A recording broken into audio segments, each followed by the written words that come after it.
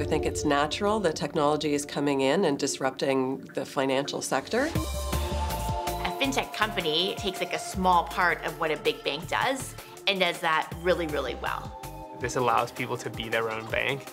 It's really about empowerment. It's a little bit of a different relationship when you're trusting somebody online with your money. If you don't have their trust, then you have nothing.